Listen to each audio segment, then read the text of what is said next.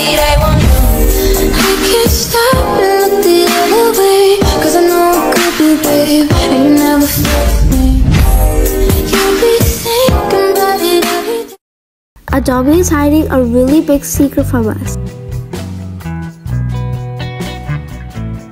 As you can see, we have a 35% common, 25% uncommon, 20% rare, 16% ultra rare, 4% legendary chance of getting a pet.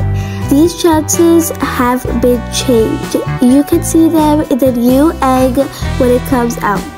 When the egg came out, I was actually a little too busy getting the dessert egg and not checking the percentage. So let's search it up on Google.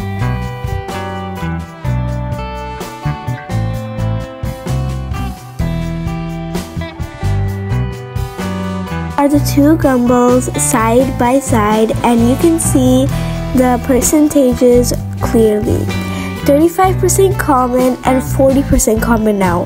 That means we have a higher chance of getting a common now and a lower chance of getting a legendary.